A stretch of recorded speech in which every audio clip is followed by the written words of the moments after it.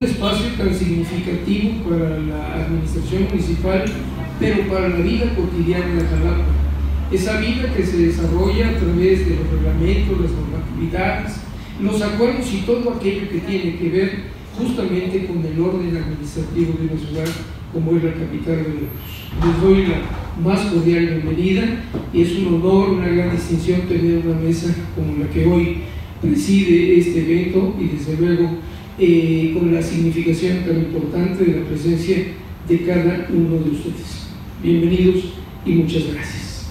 En ese orden de ideas, pues vamos a, a iniciar justamente con la presentación que hemos sido convocados para este ejercicio de memoria, un ejercicio de recuerdo en el que tenemos que retomar aquellos elementos que son parte de esa vida de los jalapeños en la historia hemos recordado siempre acontecimientos que son significativos por las ventajas que representaron o en su caso contrario. El caso de la presencia del, del emperador y de todo este momento histórico de la ocupación francesa del territorio en el que Jalapa fue un punto de, de, ocupación, si bien es cierto en cierta medida pacífica como lo describe el maestro, también hubo momentos convulsos sobre todo por esa inestabilidad que prevalecía entre los grupos de simpatizantes y aquellos que de alguna forma se veían forzados a aceptar un modelo eh, político que no venía justamente a la lucha que se había dado desde justamente hace 200 años con el proyecto ya de la nación que se va a formar y todo este proceso en el que se va a ir consolidando lentamente y de momento la irrupción como fue de la presencia eh, europea del ejército francés y después los austriacos y todo lo que se trajo como consecuencia. Quiero presentar a ustedes en primer lugar, para hacer uso de la voz, al doctor Hugo Ayala Flores. Él es investigador de tiempo completo de la Facultad de Historia de la Universidad de Veracruzana. Es licenciado en Historia por la misma Casa de Estudios maestro y doctora en Historia por el Centro de Estudios Históricos del Colegio de Michoacán, miembro del Sistema Nacional de Investigadores del CONACYT nivel 1 y es especialista en Historia de Veracruz, Historia Social y Cultural y del asistencialismo en México, así como la historia cultural de las relaciones internacionales. Actualmente se desempeña como coordinador de la maestría en Historia Contemporánea en nuestra Facultad de Historia de la Universidad de Veracruzana. Doctor, bienvenido, queda usted en el uso de luz. Muchas gracias, buenas tardes a todos.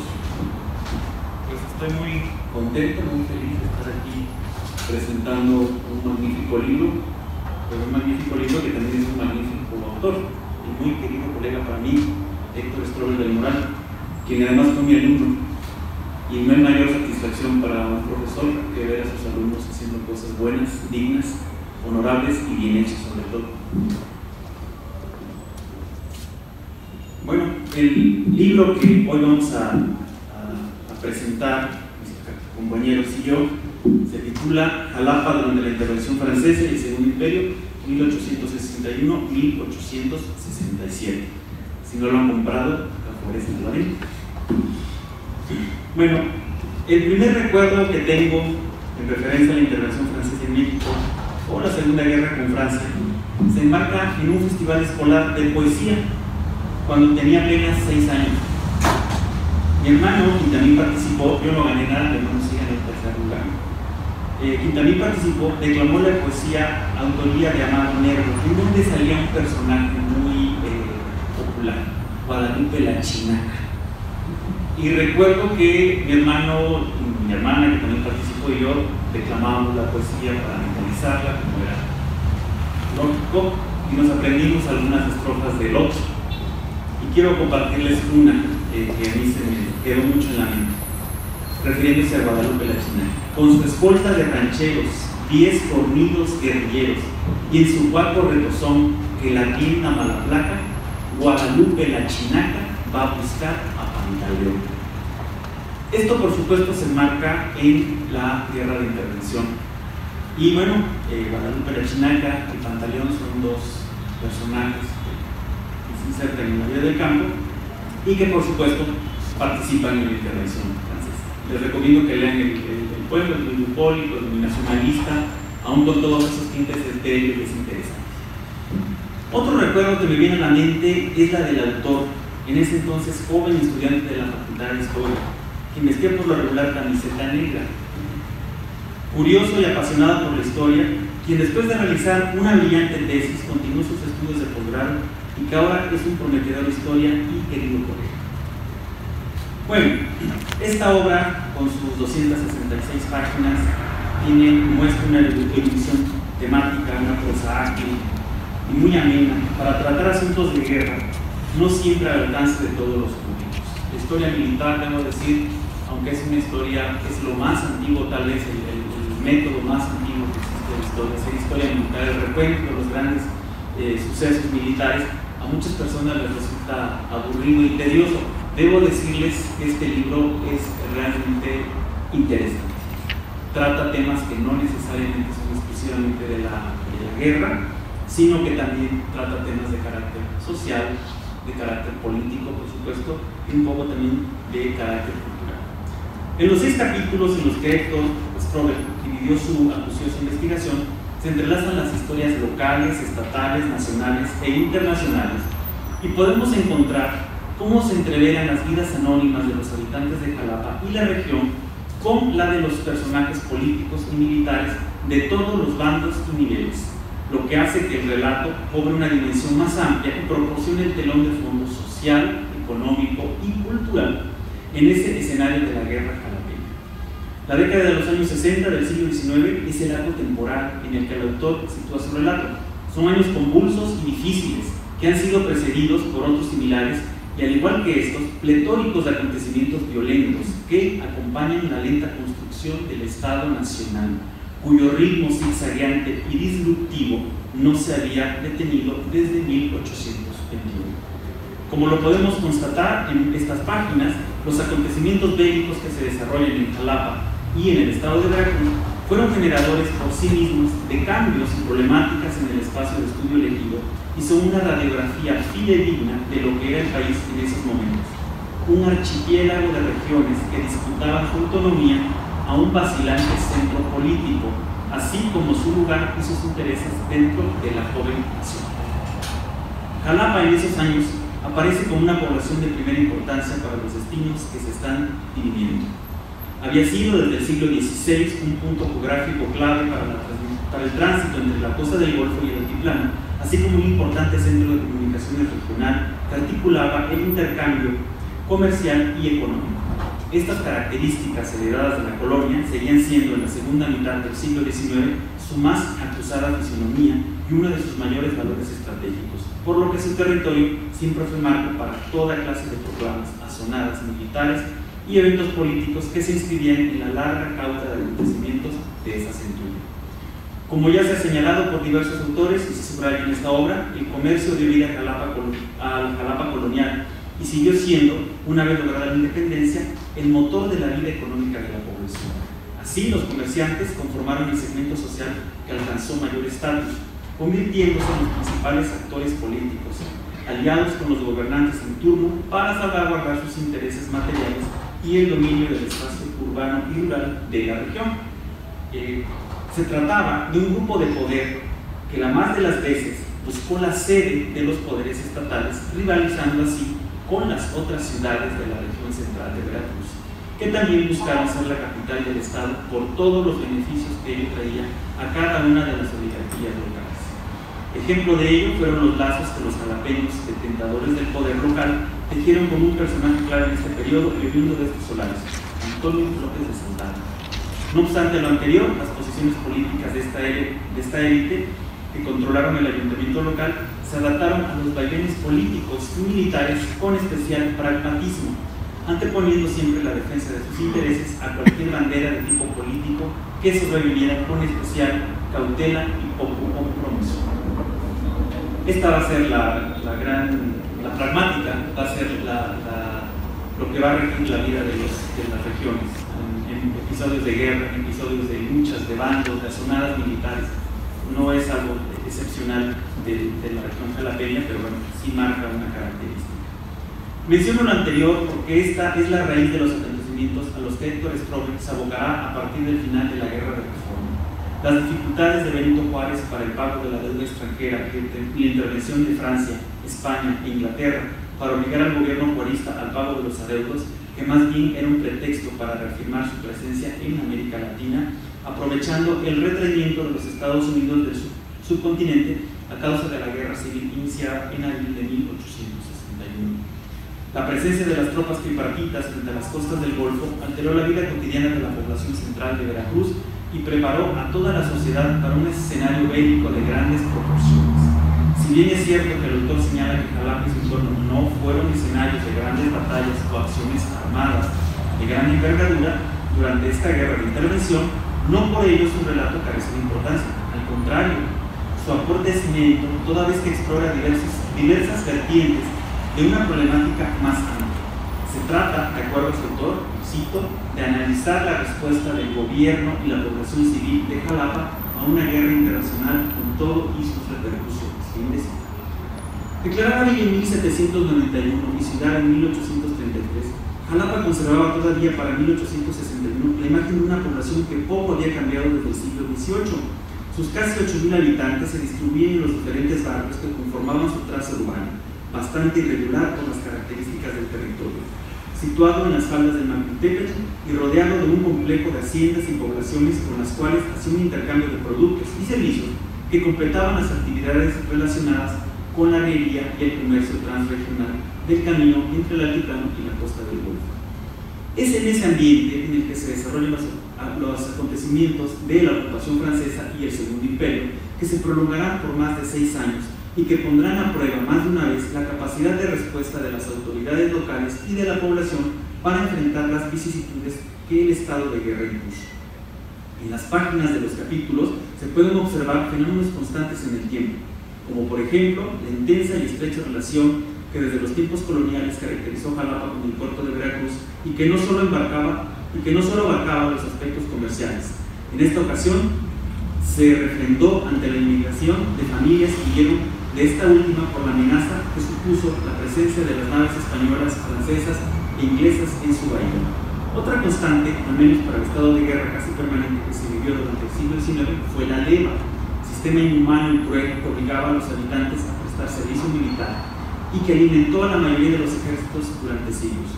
Para el caso de esta historia, el autor muestra con toda su crudeza en el escenario jalapeño, como ya lo señaló Conrado Hernández López, quien por cierto fue mi profesor en el Colegio de Michoacán y ahora, bueno, murió desafortunadamente, es difícil hablar de Fuerzas Armadas en la época de la Reforma y la Intervención, porque los contingentes utilizados por unos y otros bandos no constituyen ejércitos disciplinados y homogéneos. Sus principales rasgos, según este autor, fueron la insubordinación, la indisciplina y la falta de formación profesional. Una muestra reciente de ello lo constituyen los diferentes contingentes que ocuparon el espacio urbano de Jalapa en el periodo estudiado y que se acercan a la descripción señalada por Hernández López. Además, los métodos de reclutamiento de estas tropas constituyen un atentado a las libertades individuales en nombre del grupo político conservador o liberal que encabezaba esas redadas. Un ejemplo que Stroll extrae de los testimonios documentales y bibliográficos consultados constata lo anterior, y cito nuevamente. Al igual que en otras poblaciones, en Jalapa se reclutaron soldados mediante la leva para engrosar las filas de la Guardia Nacional y el Ejército de Oriente, que Juárez envió en contra, la amenaza, en contra de la amenaza extranjera. La plaza de toros de la ciudad fue sitiada para captar en masa a los varones que concurrieron a una celebración puesta como silueta. Y fin. Esto me da mucha curiosidad porque la abuela de una compañera mía precisamente fue tomado más o menos por la década de los 30, 40 de la misma situación en una plaza de toros de Oaxaca. Cabe señalar también que la deserción era castigada con la pena de muerte y que no había la más de las veces una paga segura, por lo que el robo y el saqueo por parte de la tropa era constante. El desgaste del tejido social por estas prácticas que se prolongaron por varios años o décadas fue muy amplio, pero las consecuencias también se trasladaron al territorio de lo estrictamente militar. Pues la deserción, la falta de adiestramiento en las armas y el combate, la disponibilidad de individuos y la baja moralidad de las tropas en uno u otro bando definió muchas veces su triunfo y derrota, como bien lo atestiguaremos en esta lectura. Otra imagen recurrente en estas páginas es la relativa al papel de las autoridades municipales, que en medio de diversas vicisitudes tuvieron que sortear las difíciles situaciones que planteó el estado de guerra y las tropas extranjeras en la ciudad aunque los apellidos de sus miembros poco variaban, tuvieron que funcionar con la figura del ayuntamiento, pero también en la forma de una junta administrativa municipal, aceptar subordinarse a las autoridades estatales o militares en turno y negociar con ellas lo necesario para mantener bajo control la plaza. Acostumbradas ya a cierto pragmatismo al tratar con los diversos bandos en contienda, no por ello los miembros del ayuntamiento de Jalapa dejaron de enfrentarse a serias dificultades económicas por las exigencias de la guerra, que la guerra imponía y los obstáculos que surgieron al tratar de entenderse con los ejércitos liberales, conservadores y de ocupación francés por la demanda de los cuantiosos recursos que requerían el mantenimiento de la cárcel o el hospital, que también van a ser una constante en el relato del libro de, de Héctor, y que en ocasiones se vieron imposibilitados de suministrar a los enfermos heridos o a suprimir los gastos para atención de los servicios a la población en general o las garantías necesarias para que los ejércitos respetaran la vida y propiedades del vecindario. Fueron muchos los esfuerzos para impedir que se aplicara la ley a los habitantes de Jalapa, aunque solo fuera a ciertos grupos de individuos y dejar en la indefensión a los miembros de las entonces clases peligrosas, conformadas de acuerdo a las clasificaciones de la época en vagos o gente sin oficio alguno que irían a engrosar las filas de los diversos el 17 de mayo de 1863, la ciudad de Puebla cayó en manos del ejército francés de ocupación, con lo cual se consolida la intervención extranjera en nuestro país y se sientan las bases para el advenimiento del imperio de Maximiliano de Habsburgo. Bajo el título de La Jalapa Imperial, Héctor Sproul se ocupa de los acontecimientos que acaecen entre este año y el de 1867 y los efectos de esa presencia militar en el centro de Veracruz. Las problemáticas de abasto, seguridad, escasez de recursos siguieron siendo las constantes. Pero la cotidianidad se rompe cuando se tiene que celebrar el arribo del emperador. La celebración se impone y el ayuntamiento gasta. Con el concurso público en ceremonias, arreglos, retratos de su majestad, repiques, salvas de ordenanza, concierto en los berros, etc., las fuerzas republicanas, no obstante el acecho de las francesas, continuaron asolando constantemente a la ciudad pero las actividades se fueron reanudando paulatinamente. Tres acontecimientos importantes marcan esta época para Cuba. La elección del obispado de Veracruz, con sede en esta ciudad, el arribo de su primer obispo, el obispo Francisco Suárez Peredo, en septiembre de 1864, y la visita que el emperador Maximiliano hizo a la población el 25 de mayo de 1865. En los dos eventos, la ciudad se engalanó y recibió a las visitas de acuerdo a su jerarquía desplegando sus mejores ganas. Parecía por momentos que la paz había regresado por fin y que se auguraban nuevos tiempos de prosperidad. Pero el curso de los acontecimientos dictó otros destinos. El imperio de Maximiliano llegó a su fin tan pronto como Napoleón III decidió retirar las tropas de México ante la amenaza de una confrontación con Rusia. La guerra de secesión, por otro lado, en los Estados Unidos había concluido en 1865 y el vecino del norte rechazando la presencia europea en el resto del continente americano, apoyó al gobierno transhumante de Benito Juárez y al grupo liberal que encabezaba. Como en otras ocasiones, estos eventos tuvieron su correlación con el escenario jalapeño y el autor los va registrando y analizando con toda puntualidad. Jalapa se convertiría en el objetivo de las fuerzas liberales que la asedian, que la asediaron, cercaron y la sometieron a constantes ataques e incursiones de guerrilleros que incluso llegan hasta el centro de la ciudad a pesar de los denodados esfuerzos de las autoridades locales y el escaso recurso del ejército imperial. La población una vez más sufriría el hambre y la incomunicación. Finalmente, la plaza cayó el 11 de noviembre de 1866 a manos republicanas, al mando del general Ignacio Latorre, y se inicia con ello, de manera adelantada, con relación al resto, del país, la era de la República Restaurada. Bueno, para finalizar, quiero decir también que este libro tiene una prosa magnífica, se lee tanto para el erudito como para quien busca información específica, profesional acerca de este periodo, como también para el público en general ávido de conocer historia. Otro aspecto que debo destacar de, rescatar de la obra que tiene una magnífica investigación en bibliotecas, archivos, fototecas, hemerotecas, una diversidad de fondos, tanto locales, regionales como internacionales, que el autor eh, realizó, supongo que en diferentes eh, estancias, en estos acervos. Eh, no me queda más que recomendarles la lectura de la obra. la historia es parte de nuestra cultura general, es parte de lo que somos en la actualidad como nación, pero también como personas, como familias, como población, como vecinos. Y los invito realmente a que lean el, libro. me parece muy loable el esfuerzo que hace el ayuntamiento por generar la publicación y edición de estas obras. Cada vez es más difícil la edición de libros en físico y eso tenemos que valorarlo. Muchas felicidades al autor, este magnífico libro, lo recomiendo mucho por supuesto muchas gracias a ustedes por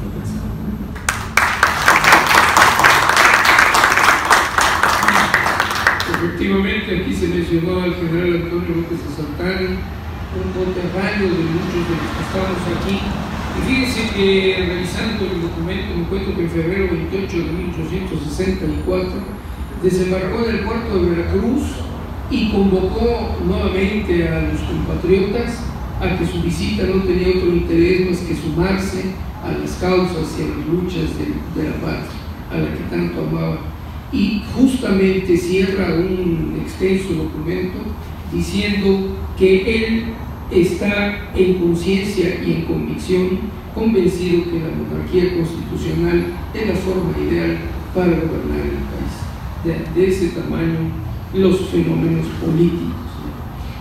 Eh, presento a ustedes que es conocido por nosotros y apreciado, el licenciado Alfonso Segura Cruz, licenciado en Sociología por la Universidad de Veracruzana, estudios de metodología de educación popular en el Instituto Mexicano de Desarrollo Comunitario en Guadalajara, Jalisco, fundador del Centro de Servicios Municipales Heriberto Jara, Asociación Civil en Jalapa, miembro titular de la Red de Investigadores de Gobiernos Locales Mexicanos, fundador de la Convención Nacional Ciudadana Municipalista, integrante del Grupo de Trabajo Técnico para la elaboración de la Ley de Transparencia y Acceso a la Información Pública del Estado de Veracruz, responsable en México de la red internacional Logolink especializada en gobernanza, integrante del programa regional Construcción de Habilidades de Gobernabilidad Participativa México-América Central, Red Internacional, coordinador de los programas Fomento la Participación Ciudadana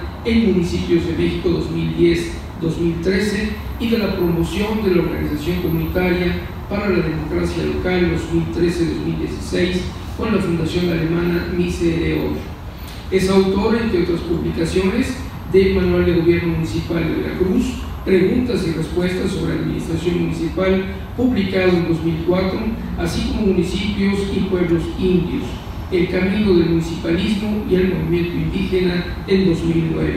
Desde el año 2018 desempeña el cargo de secretario del Ayuntamiento Constitucional de Jalapa. Amigo, quédese en nosotros. Muchísimas gracias, maestro Vicente Espino Jara. Bien, pues eh, es un gusto estar aquí en esta eh, reunión tan importante, hacerlas después de todo el tiempo de confinamiento que hemos tenido en Jalapa y en todo nuestro país a partir de este suceso pandémico que estamos viviendo. Quisiera en principio hacer un reconocimiento a nuestro equipo municipal. Me parece que es bastante atractivo nuestro equipo. Este libro precisamente es parte del aporte literario que se, se produjo por una línea impulsada por el presidente municipal, Hipólito Rodríguez Herrera. Y entre, una, entre esas vertientes de esta línea pues, se ocurre la, la, línea de recuperación histórica y con un sello particular para, para Jalapa. Muy eh, importante la labor de nuestra jefa de unidad, quisiera remarcar, subrayar presencia de Victoria Hernández Rodríguez, que es nuestra jefa de unidad de ediciones, publicaciones y registros, y el, el equipo eh, formado por Eric Paredes, Eric Castillo, las compañeras que están Katy, eh, Cristi, Claudia, en fin, es un equipo que es muy significativo porque no se trata solamente de imprimir libros, sino también de poderlos distribuir y distribuirlos de manera lo más económica posible y también que se demuestre que ese libro puede ser un, eh, un libro deseado, un libro deseado. Y hemos tenido aquí libros deseados, como uno que, es, este, es, de una autora aquí presente, del compañero Pablo César, que bueno, este fue un éxito fenomenal, un bestseller para el Bien, José Homero, eh, decir, estuvo muy presente en todo el proceso editorial de, este, de esta publicación, de también reconocimiento a nuestro archivo, porque finalmente Héctor Strobel, una de sus fuentes fue el Archivo Municipal de Jalapa, del cual hay que sentirnos sumamente orgullosos y orgullosas eh, de, Carmelo Díaz Sol, que participó, el compañero César Martínez, Alfonso Rodríguez, bueno, el área de los planos, y por supuesto nuestra jefa de la unidad, María Gracia, y de mi maestra que está asesorando todo este trabajo de transformación,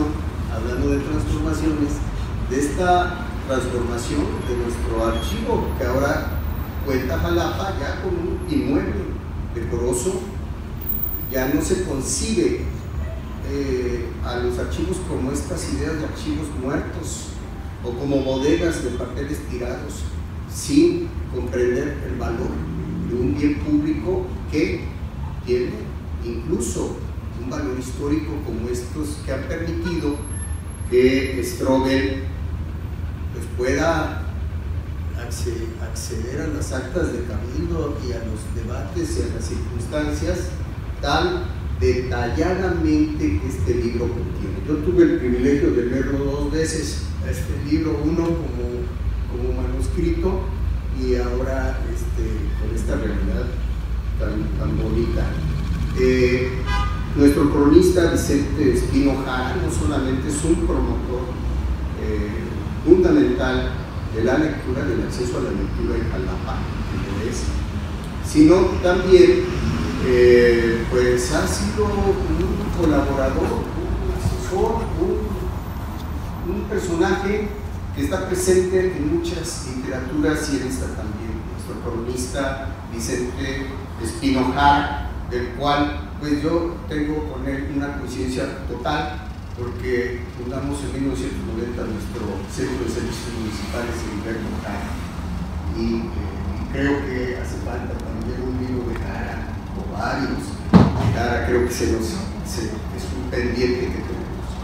Bueno, eh, quisiera decir que eh, ahora con, la, con lo que se ha llamado por Andrés Manuel López Obrador, presidente de la República, es muy difícil hablar todavía no me pero ese presidente de la República ha hablado de una cuarta transformación, precisamente que está ocurriendo.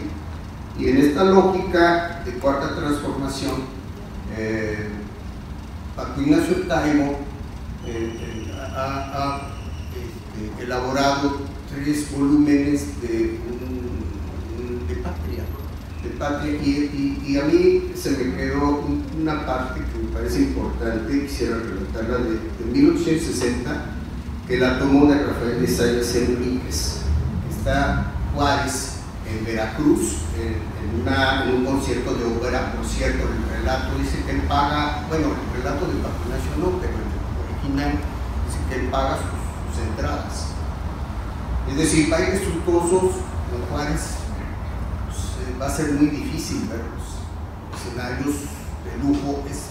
Él pagaba su, boleto de entrada en el concierto y en esa ocasión, diciembre de 1860, un correo llega al palco, él estaba junto con Gutiérrez Zamora y le dice que González Ortega ha, vencido en Calculalpan. Y eh, pues hay festejos, abrazos, público estalla, la ópera se para. Y curiosamente, la compañía de teatro entona la marsellesa. Entonces, eso ocurrió precisamente un diciembre antes del diciembre en el que, llegan las naves eh, de, la, de la triple alianza, de esa otra triple alianza, a Veracruz. Entonces, es curioso porque el liberalismo mexicano está desde, desde la independencia, forjado a partir de las ideas de la ilustración y particularmente el impacto que tuvo la Revolución Francesa, pues hasta hoy en nuestros días pues nos llega, ¿verdad? Hasta en los vítores del 15 de, septiembre el presidente ha, ha eh, lanzado vivas a la fraternidad universal.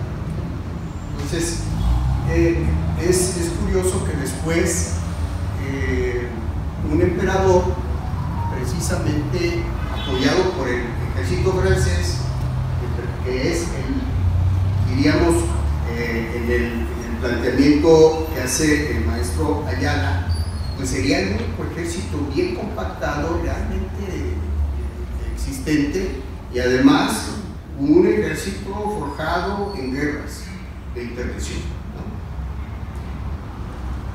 Un, año después de, este diciembre de, 60, eh, las la flota española en Veracruz, nos dice Stroger, causa pánico.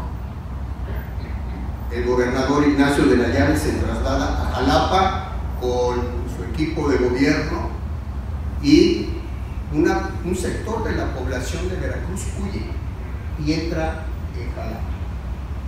Y en Jalapa tratan bien a la población veracruzana porque hay lazos de amistad, de parentesco seguramente, pero también ah, con cierta reticencia al gobierno de la República. Es una actitud distinta. Hay sectores a favor de la causa republicana y hay sectores a favor de la causa conservadora, así como hay una población que en muchas ocasiones, de un lado y de otro, la consideran apática. O sea, de parte de de sector conservador, entre comillas, aliado con, Francia, como de los propios oficiales franceses, como de los propios oficiales liberales. A veces se refieren a Jalapa como apático, como sectores apáticos de la población, como que no le echan ganas, en fin. Y eh, Ignacio de la Llave finalmente cae y muere y Francisco Hernández y Hernández ordenó el 10 de julio de 1863 que el estado de Veracruz se llamara Veracruz Llave. Es decir, eh, se convierte en un escenario especial, no tanto por su eh, lógica militar, decía acertadamente el doctor Ayala, pero sí tiene un eh, si es parte de un escenario político central el cual ocupaba un papel. Jalapa era capital, a veces se trasladaba a Veracruz, pero era un bastión de carácter político, fundamentalmente, y eso se va a expresar en todo el tiempo de la guerra de intervención se desarrolla en todo el país, y personajes importantes como Ignacio Zaragoza, Porfirio Díaz, el mismo emperador Maximiliano está aquí, nos dice Stroger, del 25 de, mayo al 2 de junio de 1865, es decir, estuvo bastantito viviendo en Jalapa. Entonces, es un escenario en el cual se desenvuelven muchos, muchas figuras importantísimas. No solamente Santana, de, alguna manera es un personaje central. También los, eh, hermanos eh, Lerdo, los hermanos Lerdo, tanto Miguel como Sebastián, pues son personajes centralísimos en, el escenario nacional. Son jalapeños de, corte nacional. Y creo que eh, en ese sentido la ciudad también se convierte como espacio urbano en un escenario de, guerra en la cual pues están los, los berros, eh, Úrsulo que le llamaban Santiago, eh, el dique, el cuartel de San José y hasta el, cerro, de, de por ejemplo, ahí se da una confrontación con el reducto austriaco que se ocupaba Jalapa. Entonces, la, ciudad es un escenario de, guerra urbana eh, y también pues, es un escenario político con importantísimos personajes. Ahora, en este libro aparecen otro tipo de personajes para comprender nuestra historia local y la configuración de nuestros municipios. Y a mí me parece que esa es una de las grandes contribuciones, el enfoque que utiliza Strobel, es fijarse desde el poder local como el sitio para, para tener la perspectiva de la historia. Y creo que en ese sentido hay hallazgos fundamentales, centrales, distintos a los que una historiografía o un historiador, historiadora, desde el ámbito más nacional o internacional puede, puede eh, enfocar. Hay cosas distintas. Dos grandes grupos se enfrentan en este escenario canapeño, liberales y conservadores aliados con Francia para imponer una monarquía en México. Liberales jalapeños como apunte varios José María Mata, Manuel María Alba, Ismael Terán, Francisco de Paula Milán, eh, veracruzanos, o sea, oriundos de Veracruz, como Manuel Díaz Mirón, padre de Salvador Díaz Mirón, por cierto hay muchas críticas hacia, hacia su comportamiento realmente patriótico o no, o realmente eh, defensor de los derechos de la gente, hay un cuestionamiento fuerte, pero también el bando conservador en jalapeños ilustres. Manuel Noriega, que es oriundo de la Ciudad de México, pero pues, es jalapeño y aquí tuvo papel centralísimo. Mariano Camacho, Francisco de Paula Mora y Daza, en fin. Y vamos a decir que eh, los liberales, la parte liberal, está entrenada, sobre todo estos liberales jalapeños, en guerras de intervención, así como el ejército francés. La diferencia es que nuestros liberales pues estaban entrenados a partir de la, de, la intervención norteamericana de 1847, que entonces tenían armas desde ahí, pasaron por, por eh, el enfrentamiento con Santana, eh, con la revolución de Ayutla y también con la guerra de reforma. Entonces había una experimentación de la guerra y en términos de intervención desde el enfoque del pueblo invadido, vamos a decir, guardando todas las proporciones desde Vietnam. Y de parte del ejército francés, nos dice Strobel, pues, toda la, experiencia de un ejército real y consolidado de Napoleón III, del cual eh, decía Carlos Marx, que la historia se repite, ¿no? O sea, como las películas, hay segundas partes, con la diferencia que la primera parte está muy buena y la segunda parte pues a veces causa risa. Entonces, eh, esa es la crítica que se le hace a, a estas segundas partes pero en general en 1854 demuestra con la guerra eh, contra Rusia, la guerra de Crimea, en 1859 contra Austria, se consuma la ocupación Argelia en 1857, interviene en Indochina, Siria, Líbano. Es un ejército experimentado, es un gran ejército y eh, Strobel no duda de lo que plantean eh, los mexicanos, que es el mejor ejército del mundo en ese momento. Entonces, Jalapa es intervenida, yo anoté, a, reserva de que me corrija, pero entiendo que del 7 de noviembre de 1862 al 15 de enero de 1863 una primera ocupación y posteriormente del 23 de octubre de, de 1863 al 11 de noviembre de 1866. Es decir, Jalapa estuvo ocupado y estuvo ocupado por esta alianza en la que siempre oficiales franceses estuvieron participando. Yo quisiera, pues como todos ahora, bueno, cada quien lee los libros, pues como cada quien los interpreta de acuerdo a sus condiciones y a su vida. Yo, por más que quiero desapegarme, encuentro muchas similitudes con lo que estamos viviendo ahora. No sé, pero eh, casi casi veía unas eh, diferencias entre los grupos liberales son marcadísimas. Estaba viendo lo que estaba sucediendo actualmente. Eh, también el papel del ayuntamiento está sumamente parecido en términos de lo que es esta subordinación con los poderes tanto republicano como imperial. Pero finalmente es una institución que sobrevive.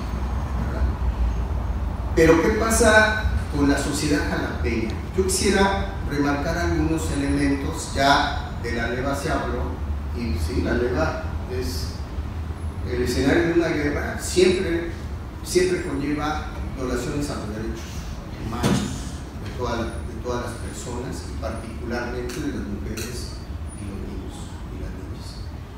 Eh, Manuel Romo, juez de primera instancia de Jalapa, su casa fue carteada y sufrió el exilio en La Martinica Dice, eh, según Aspoitian, nos, nos recuerda Strobel, los franceses se comportaron de manera educada con las jalapeñas, observando la mayor corrección en sus modales. Es decir, el ejército francés aquí no se distinguió por elementos de crueldad eh, totales como si algunos jefes militares del conservadurismo que estuvieron en Jalapa.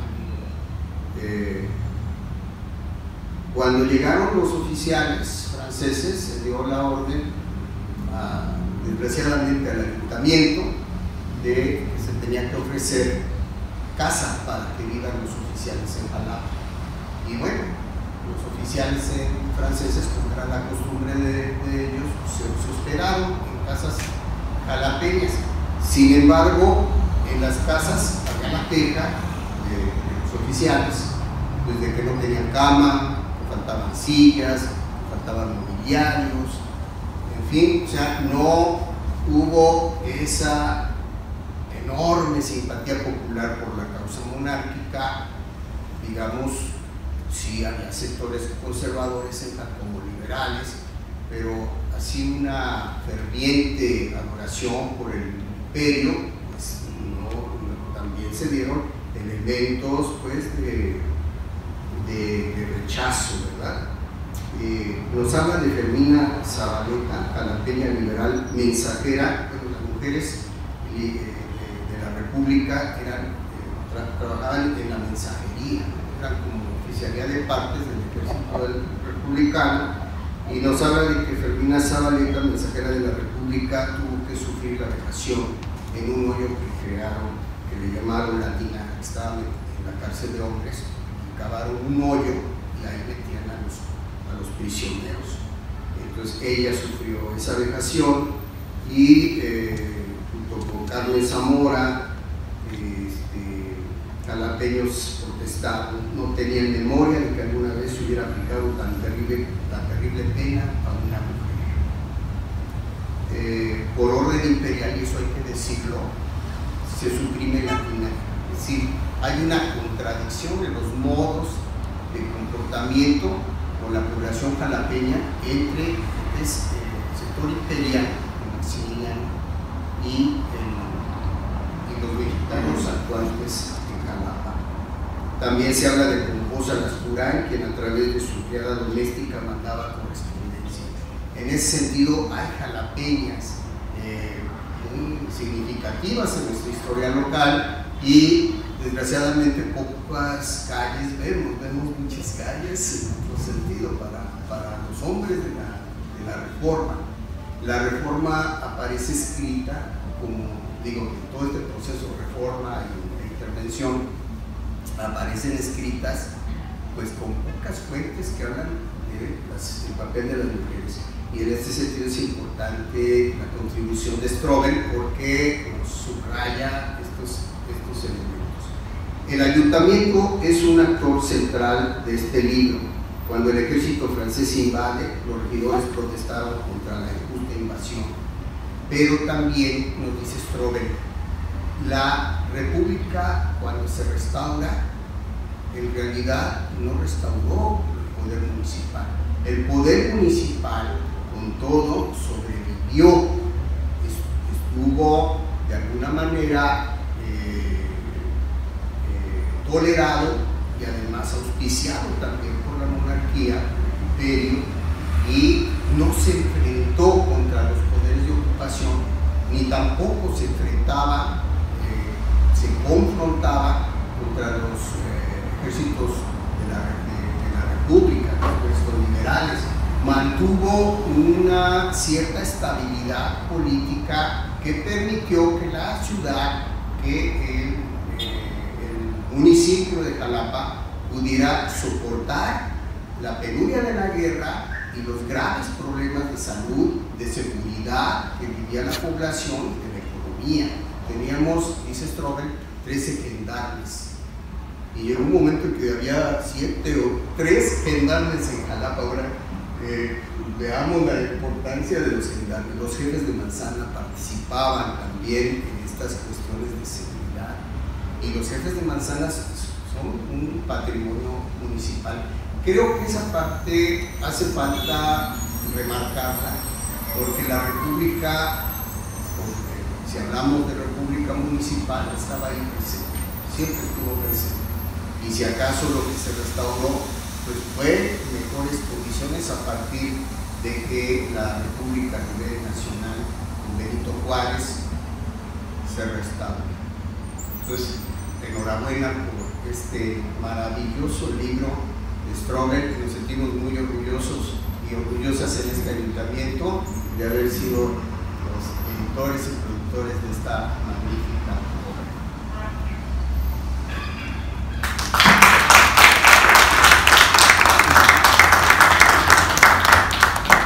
Justamente de esa tinaja se la debemos a José María Galvez, un militar porteño de, decir del puerto de Veracruz, y que eh, una vez eh, eh, asignado a, a, Jalapa como comandante, acabó esa tinaja en la que las quejas del ayuntamiento, sobre todo en las sesiones secretas del ayuntamiento, hay acuerdos para exponerle al jefe de la autoridad principal, en este caso a, a Mora y Gaza, las quejas que tienen los vecinos de la manera tan violenta en que se está atormentando a un sinnúmero de personas, incluso dice ahí, por violentar reglamentos de, lo más simple, de lo más sencillo, están en la tinaja y la tinaja se ha llenado de eh, heces fecales que llevan semanas ahí y se volvió un lugar de alto riesgo,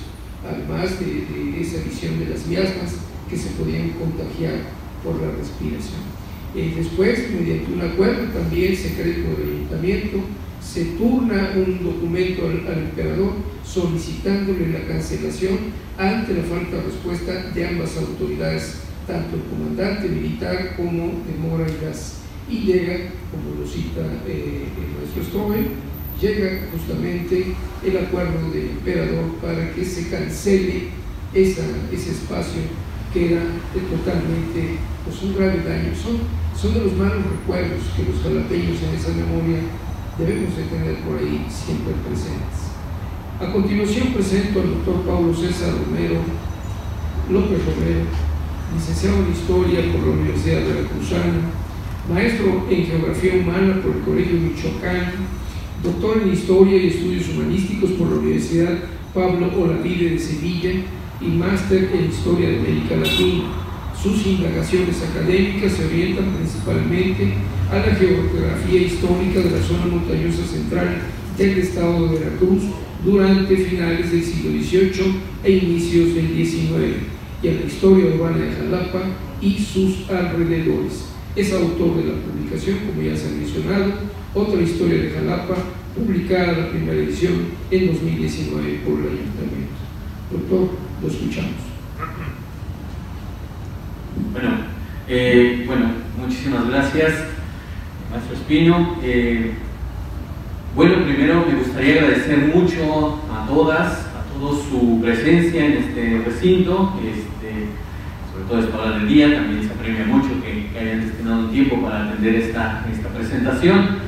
Quiero agradecer mucho al autor del libro, Héctor Strober, que tengo montones de, de gusto al conocerlo desde hace más de siete años. Compartimos ahí proyectos de investigación, eh, las ideas de este, de este libro que, que, nutrieron su tesis de licenciatura, pues tuve la fortuna de, de, charlarlas con él en pláticas de pasillos, ahí nos íbamos dando datos, nos íbamos dando impresiones, oye mira yo voy haciendo esto, yo voy haciendo aquello, ah pues deberías de hacer esto, deberías de ver esta fuente, entonces es muy agradable ver que ese proceso culmine en una hermosa edición, en una muy cuidada edición, y en ese sentido este, es todo un gusto estar aquí presente. ¿no? Eh, también agradezco mucho al Ayuntamiento de Jalapa, especialmente a la Unidad de Ediciones y Publicaciones por la invitación a participar, por la edición del libro, que debe ser eh, un motivo de orgullo, puesto que el libro que aquí estamos presentando eh, tiene muchos elementos para, para pensar la historia, porque usualmente podríamos pensar, bueno, otro libro de historia, ¿para qué? Eh, y en ese sentido también es bueno traer a, buena cuenta eh, la utilidad que tiene el conocer este tipo de cosas. ¿no? Y actualmente eh, podemos asumir que la historia no es una disciplina que dicta normas que dicta fechas y personajes grandes, sino que muestra problemáticas y que muestra diversos retos enfrentados por otras personas en otros tiempos con los cuales con, este, compartimos espacio. Y en función de esas experiencias nosotros nos van a ayudar a pensar diferente nuestra vida a tener opciones. Estamos viviendo en una época de muchos retos, estamos viviendo en una época de muchas complicaciones y este, el acudir a este tipo de obras que hablan también de épocas de muchos retos y de muchas, este, muchas dificultades para las personas, para los gobiernos, ayuda a que nuestra reflexión sea elevada. Por supuesto que no estoy diciendo que vamos a practicar levas, que vamos a endeudarnos y vamos a dejar todas las arcas este, agotadas del municipio, no pero sí que tenemos que tener en cuenta ciertos factores como es cuidar este, ciertos elementos, evitar el rompimiento de derechos humanos y que los derechos humanos son de trascendental importancia. ¿no? Entonces, creo que en ese sentido el libro eh, va muy bien. Y bueno, me estoy emocionando tanto que hasta se me olvidó quitarme esto. Eh, y bueno, eh, otro de los aspectos que, el libro de Héctor trae a, trae la reflexión, además del que yo mencioné, es que viene a contribuir de una manera muy significativa a la historia local y a la historia nacional. O sea, es una obra donde no solamente nosotros como jalapeños y como habitantes de esta región tenemos elementos para, para conocer más, para, para, entrever que nuestra historia es una, es una historia muy rica, es una historia muy heterogénea, llena de muchos componentes, sino también ayuda a pensar de otra manera los eventos de índole nacional y sobre todo los eventos históricos que tienen que ver con conflictos bélicos. Usualmente cuando pensamos en historias de guerras, pensamos en dos contingentes, un campo, una matazón y hasta ahí nada más, ¿no? Pero el libro de Héctor ayuda a pensar que la guerra no solamente se desarrolla bajo estos simples esquemas, sino que tiene elementos más amplios, que, no, que el campo de batalla no es solamente un un lugar donde dos este, cuerpos o dos este, grupos militares se enfrentan, sino que ese campo es un espacio que abarca rancherías, que abarca pequeñas poblaciones, que abarca una serie de elementos que usualmente no los pensamos porque estamos solamente viendo el evento bélico de, alta jerarquía. ¿no? Y precisamente eso también viene a enriquecer la este, historia, la historia local de Jalapa. ¿no? Muchas veces, y aquí ustedes permitirán, permitirán esta, impresión que tengo, es una impresión personal, pero la historia de Jalapa, sobre todo la más añeja, insistía en ubicar a esta población dentro de todos y cada uno de los grandes eventos de índole, nacional. Eh, y así veíamos que en diversas monografías se nos presentaba Jalapa en la época prehispánica, Jalapa en la, en la conquista, Jalapa en la independencia, Jalapa en la reforma y Jalapa en la intervención francesa y Jalapa en la revolución, ¿no? Entonces había que poner siempre la población en el marco de estos grandes de estos grandes eventos, ¿no? Y usualmente lo que se buscaba es que la población tuviera una participación significativa. Y aquí había un problema muy importante para la historiografía, porque muchas veces pensando en que solamente la historia trasciende a través de los grandes eventos, había una decepción, había una cuestión así de, híjole, pues es que aquí no hubo la gran batalla, este, aquí no hubo el gran suceso, aquí, bueno, pero pasó el cadáver de Maximiliano. Eh, bueno, pero este, por aquí durmió tal persona.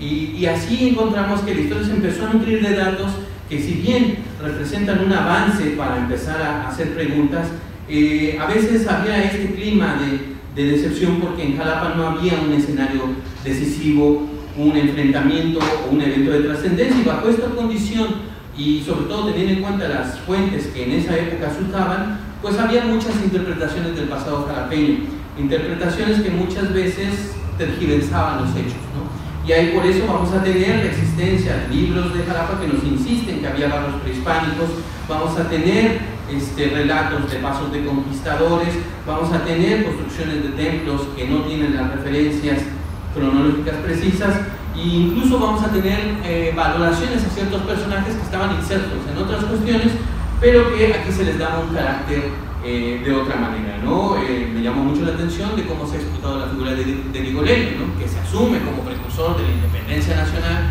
Bueno, fue un representante del ayuntamiento para una junta para apenas saber, para apenas platicar qué es lo que se iba a hacer en cuanto a la crisis de la monarquía. ¿no? Entonces, esas situaciones que dominaron en un momento la, la, historiografía jalapeña eh, se ven, se ven este, fueron importantes puntos de partida. Pero hoy en día contamos con, con, nuevas herramientas para elaborar historia y el libro y el trabajo de Héctor es una forma de acercarnos a esas nuevas formas y que permite un poquito no poner forzosamente a Jalapa dentro del gran proceso, sino explicar el gran proceso mediante el caso de Jalapa. Entonces, que eso en, en función de perspectiva es bastante impresionante, ¿no?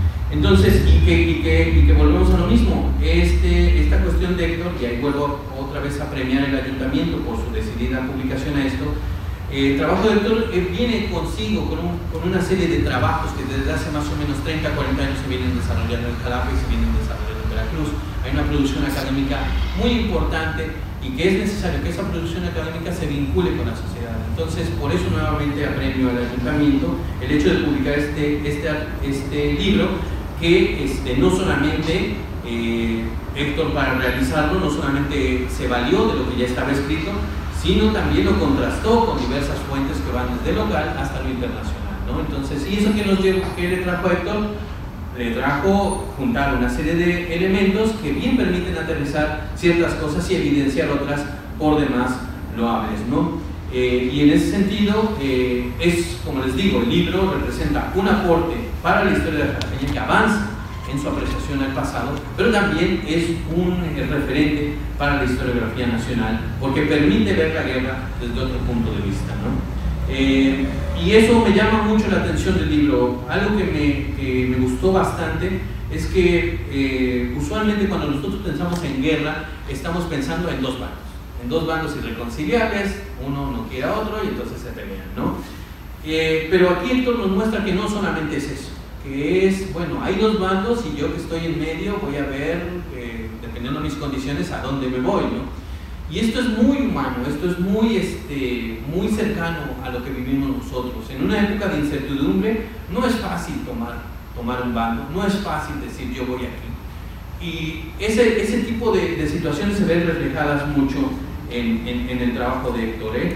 No se trata solamente, y, también eso, es otra cosa, el trabajo de Héctor permite que nos eh, pongamos en cierta manera en los pies de aquellas personas que vivieron en esa época. Hoy en día nosotros, por todos estos libros, por todas estas eh, biografías y estas historias que nos llegan, eh, más o menos sabemos lo que ocurrió. Más o menos sabemos de que llegó un ejército extranjero, más o menos sabemos que ese ejército tuvo que entrar en territorio, sabemos de una batalla en Puebla, sabemos de una reorganización, sabemos de del establecimiento de un imperio y sabemos que ese imperio acabó en 1867, pero la gente de la época no tenía idea cuándo ese momento se iba a terminar. Y eso es precisamente lo que el libro trata de ver, que la gente está viviendo en una época de incertidumbre, de donde no está seguro qué bando va a trascender y qué bando va a establecerse definitivamente. Y en función de esa incertidumbre tiene que tomar decisiones.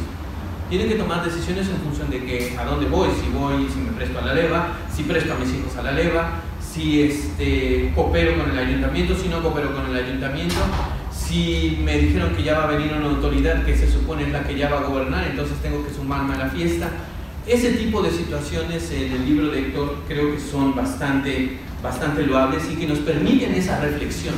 ¿no? no solamente ver el hecho como algo consumado, como algo que ya terminó, sino ver el problemón que había entre 1861 y 1867 para las personas de a pie y también para la administración pública, ¿no? Es decir, este, un ayuntamiento, bueno, yo estoy más o menos tratando de administrar unos recursos para buscar el beneficio de los que aquí viven y de repente llegan exigencias de que necesitamos alimentos, dineros para alimentar a este grupo de militares. Perfecto. Eh, y, le recuerdo, señor alcalde, que si no lo hace, sufrirá las consecuencias. Ok, no hay ningún problema. Y al siguiente mes llega otra carta de otra autoridad diciendo lo mismo, entonces, ¿qué hace la autoridad en ese sentido? ¿no? Entonces yo creo que ese libro eh, de manera muy importante esta época de zozobra y que vale la pena mucho reflexionar sobre eso. Y ese es el tipo de reflexiones que yo traería al presente, a, la cuestión actual. Hoy en día vivimos una época de incertidumbre total. Bueno, los apenas de hace 100, vamos a ponerlo así, 150 años, 160 años más o menos, pues estaban en las mismas y a, saber si en peores, ¿verdad? Porque no solamente es la cuestión este, material, sino también es la cuestión de, la propia vida. Entonces, en ese sentido, sí, sí, es, algo que lleva bastante a la. Ahora, otra situación también que me gusta mucho del libro de Héctor y que espero que ustedes y los futuros lectores de este libro aprecien, es precisamente rescatar algo muy importante, que la región cuenta mucho para el devenir histórico. Eso es una, una situación que el libro este, da cuenta y que es una lección que todos deberíamos de tener. Eh, durante buena parte de la historia de esta ciudad, eh, el equilibrio entre, el centro urbano, entre la cabecera y su provincia, eh, mantenido por una serie de relaciones comerciales y económicas, garantizaba la subsistencia de la población. Es decir, Jalapa, más que en otros tiempos, dependía mucho de su región y de los pueblos, de los ranchos, de las haciendas que estaban a los alrededores. Es una época donde ese equilibrio, si se rompía, el principal afectado era la cabeza. Entonces es, importante ahí destacar el papel que tienen estas localidades, estos ranchitos que usualmente, que también se ven afectados por esta apreciación de la gran historia nacional. Usualmente se nos presenta la historia nacional con los generales, con los grandes eventos, con la firma de tratados, y usualmente los pueblos de los alrededores o las rancherías o las pequeñas localidades, congregaciones municipales actualmente dicen, bueno, pues es que pues por aquí no pasó Don Ocu, aquí no hay historia. Eh, aquí no pasó Don Maximiliano, pues es que aquí no hay nada. No, aquí vemos con este libro que precisamente hay un papel, hay había un papel histórico que es trascendental para la ocupación de Jalapa o no de diversos contingentes militares. ¿no? Entonces, ahí tenemos a Castillo, tenemos a Coatepec, tenemos a Tlacolula, como enclaves que son esenciales para el éxito o el fracaso de los proyectos tanto republicanos como imperialistas. ¿no? Entonces, en ese sentido, eh, es algo que, el autor este, resalta mucho. Y otro aspecto muy importante que se viene señalando, bueno, está la obra de Rachel Moore, de 40 Miles from the Sea, es un libro sobre Jalapa y su, posición atlántica en el siglo XIX. Eh, este libro también va por esa línea porque nos pone cómo Jalapa está inserto en un no menor circuito mercantil internacional que tiene al Atlántico muy, este, muy presente. ¿no?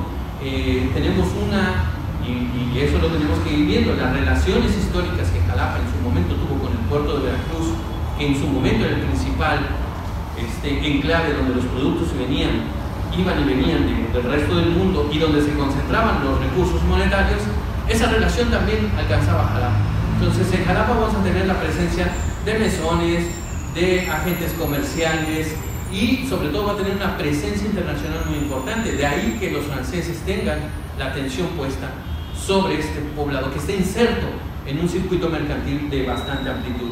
Y ese, ese elemento creo que pocas veces se rescata a nivel historiográfico y que es necesario ir viendo en, sus justas dimensiones, ¿no? Porque bueno, sí, se menciona ah, de paso, pero un sitio de paso es simplemente paso al otro día y al otro día ya estoy aquí y se acabó. Este sitio no solamente, no solamente era de paso, sino era un lugar que importaba para el circuito, para los circuitos mercantiles de esa época, ¿no? Y los franceses lo saben perfectamente, ¿no? Entonces, en ese sentido hay una presencia internacional pocas veces percibida en función de las, acción, de las actividades comerciales que se juntaban en Jalapa. Entonces ahí tenemos dos elementos, un elemento regional, donde tenemos una constelación de poblaciones que nutren a una cabecera y que esta cabecera a su vez esté inserta en un circuito mercantil de mayor profundidad. ¿no? Y esos ingredientes van a hacer que Jalapa sea el escenario de toma de decisiones, de toma de acciones y que expliquen en buena manera cómo se va dando en la, este, en, la obra. ¿no? Eh, y en ese sentido, ya por último, me gustaría mucho resaltar eh, que el libro de Héctor, el libro de perdón, es un llamado a ver la guerra de otra manera. Eh, no como una aventura épica que nos muestra el valor de las personas de antaño, sino como un escenario donde, al contrario de lo que se nos quiere presentar, no hay ganadores perfectos, no hay triunfos, no hay esto, sino que es un clima de incertidumbre donde nadie está seguro de nada, ¿no? Es un poquito de lo que estaba mencionando, ¿no? La exigencia militar, los abusos que se van con la zozobra que hay en esas cosas y en ese sentido esto le quita lo romántico a la cuestión de la guerra. Ah, una guerra nacional donde dos frentes se disputan la cuestión de, quién es el mejor país y todas estas cosas. Bueno, eso sí, pero además está el sentir y el sufrimiento de las personas que tuvieron que padecer esas ocupaciones, ¿no? Y lo que también aprendo mucho del libro de esto y que tiene que ver mucho con estas situaciones es que nos muestra muchos elementos este, bélicos, de conflicto, que estaban anclados a lugares que hoy en día nos parecen muy cotidianos y que usualmente no vemos en su trascendencia histórica. Eh, y en ese sentido, este, y hacer una reflexión sobre, sobre esa, esa situación, ¿no? Hoy en día nos parece muy bonito ir a la cima del Cerro del Macuiltepec, este, estar en el paseo, pasar por los, por los familiares un buen rato en convivencia con la naturaleza, pero eso no nos permite ver el horror que hubo cuando ese polvorín estalló.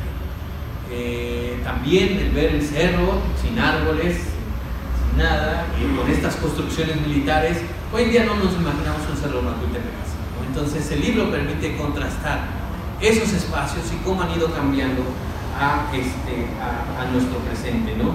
Eh, también el Calvario, pasamos usualmente buscando evitar la persona con cajas, con morrales, el tráfico, que está muy pesado, el ruido del centro, pero no nos detenemos un poquito a reflexionar la lucha que hubo en ese, en ese, en ese lugar para asegurar, para intentar asegurar que un proyecto nacional se lleve a cabo. ¿no? Entonces, en ese sentido, creo que el libro es muy buena muy buen elemento para despertar este tipo de reflexiones que no nos van a ayudar solamente a pensar el pasado, sino nos van a ayudar a pensar nuestro presente, que es una situación muy importante, ¿no? Y también, bueno, a los que nos están siguiendo en la transmisión, si ustedes quieren saber qué pasa con ese cuartito que vemos junto al mirador del Macuitepec, este es el libro para enterarse qué es lo que ocurre ahí eh, con, con diversas señales y a gran detalle, ¿no? Entonces, por ese tipo de detalles, por todo lo que estoy diciendo y sumado a, los, a las reflexiones que dijeron mis, mis, anteriores compañeros en la mesa, recomiendo muchísimo la lectura de este libro que no solamente les va a hacer pasar un buen rato,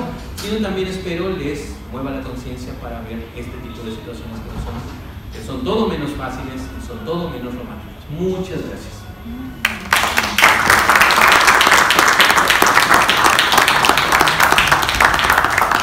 todo lo que se ha señalado ha sido muy acertado en relación al texto y yo agregaría la importancia que tiene el incluir o que estén dentro del documento las ilustraciones que fueron rescatadas en archivos de, internacionales de una visión eh, pictórica, imaginada de cómo se veían a los lugares eh, que estuvieron arribando las otras francesas. Viene reconocido Banderilla, viene reconocido Perote, Jalapa, y es una perspectiva distinta a lo que tradicionalmente hemos visto. Es una aportación que enriquece la obra, además de algunos personajes que están ahí reproducidos, que poco han aparecido en otras bibliografías. Pues dejo el uso de la voz al autor, al maestro Héctor Strobel del Moral, que habrá de decirnos. El comentario va a ser muy breve. Yo quiero decirles que no elegí de agarrarse esta mesa. A la gente que está aquí, a todos les tengo mucho cariño, mucho aprecio. Les debo además les tengo un gran agradecimiento, lo voy a decir ahorita, empezando con un honor.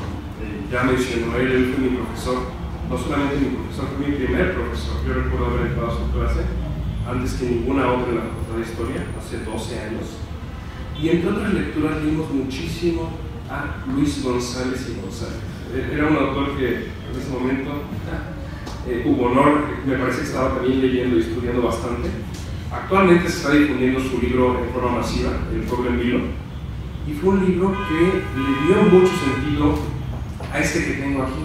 Porque yo una pregunta que me hacían bastante era ¿qué, qué, importancia podía tener estudiar Jalapa y estudiar la región en este momento, ¿no? En un momento además en el que no había pasado realmente nada, porque como ya se mencionó bastante hoy, pues Jalapa tuvo una, importancia medio eh, secundaria en esta guerra, ¿no? no fue Puebla.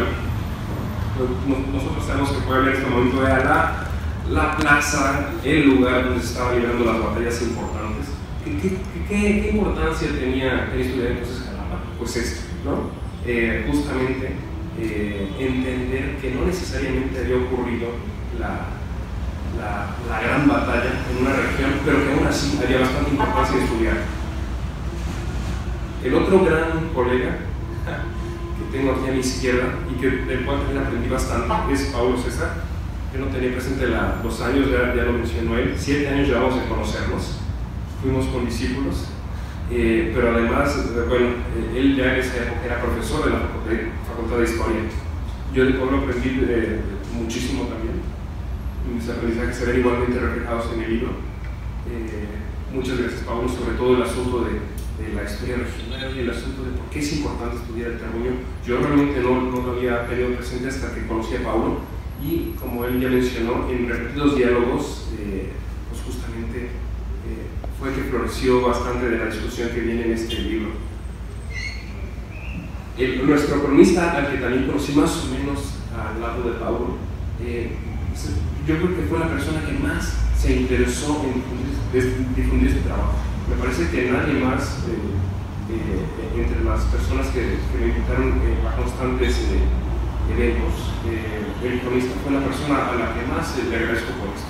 Se interesó por el trabajo e incluso ya cuando estuvo terminado, fue él quien me conectó con Alfonso para su publicación quien además le dejo también bastante porque tuvimos eh, en, su oficina algunas entrevistas que estaba en, este momento, en aquel momento acá y luego por allá se estuvo moviendo mucho, brincando de un lado al otro.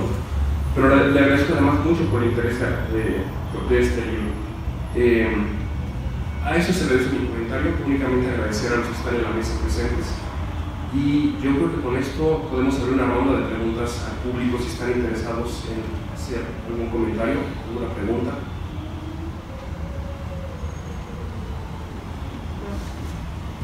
Maestro, eh, una pregunta acerca del archivo histórico municipal. ¿Qué fue lo que más eh, resultó atractivo para usted? ¿Qué documento? específicamente, ¿cuál fue, cómo se refleja eh, los documentos que usted este, revisó? Creo que sería importante repetir la pregunta porque el público en línea no la escucha sin micrófono. Perdón. Eh, del archivo histórico municipal, los documentos.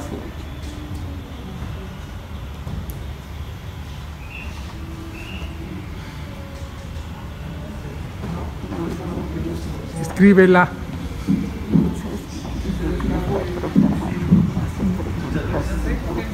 No. Perdón. Maestro, buenas tardes.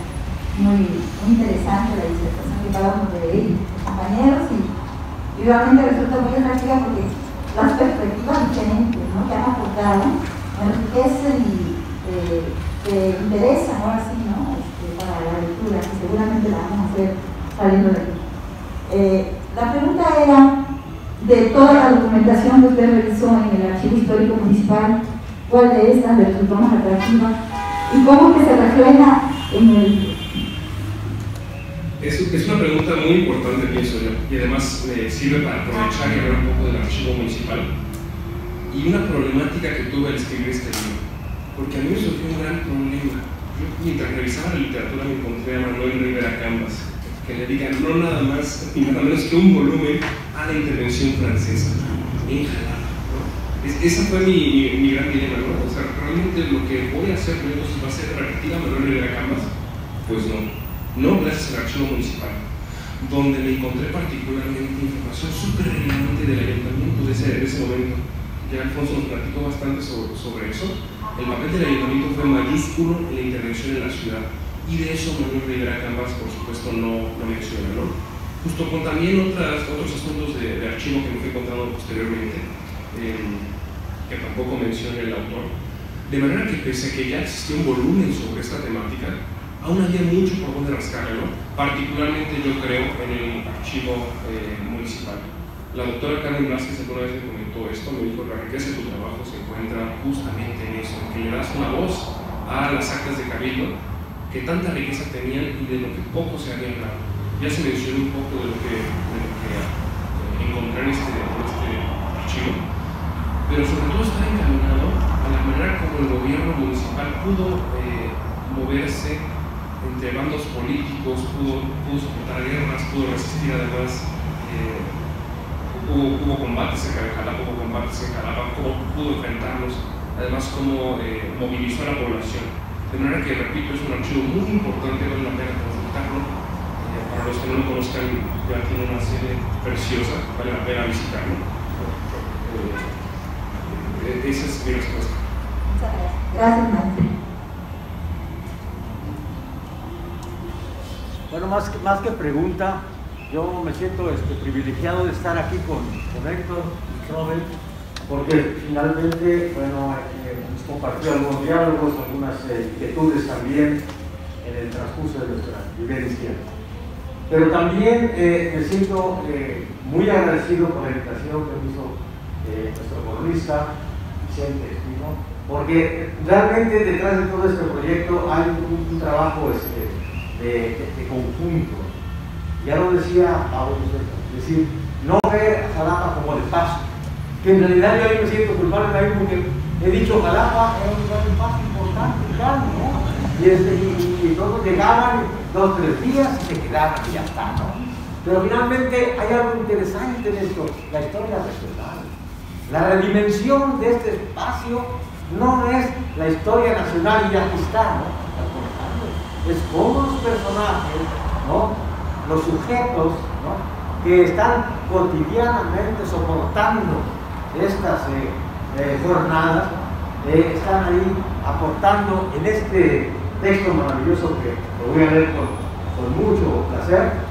Y que finalmente yo agradezco muchísimo también al doctor Ceguera porque finalmente pues, hay una mente que está detrás de un equipo ¿no? La maestra Olimpia, que yo creo que ahí es, es este, básica en esto, Olimpia, ¿no? Y yo creo que eh, es un equipo, un equipo no solamente editorial, sino de intelectuales, de gente que ama la historia.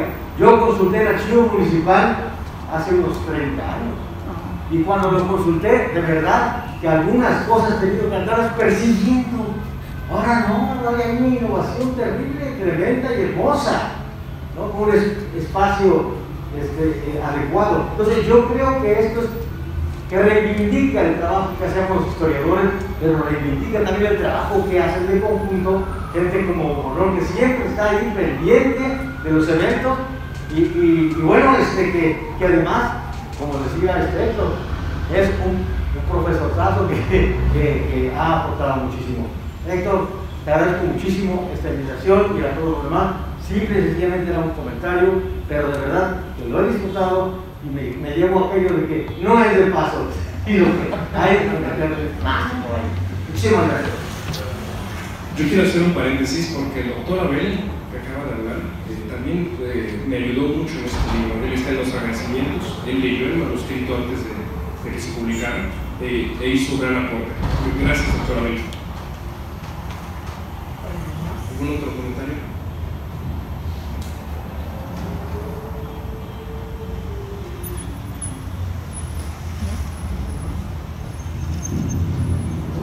Parece que, ya no hay comentarios, solamente quiero agradecer la presencia que está, nos hace favor de acompañarnos, la maestra eh, Hernández, cronista de Banderilla, que está presente, pido un aplauso para ella. Y el maestro Arnoldo Romero Hernández, que es el coordinador de la Casa de Cultura de Banderilla. Gracias por acompañarnos. Y si no hay mayor intervención, pues darle las gracias a todos ustedes, primero por su presencia y lo más significativo que decía al inicio, la oportunidad de vernos a la cara, de vernos y, que vayamos generando estas dinámicas de encuentro que siempre serán muy productivas y sobre todo con el afecto que implica reunirnos a revisar la memoria histórica de Jamaica. Que tengan una excelente tarde y las firmas con el autor son aquí. Muchas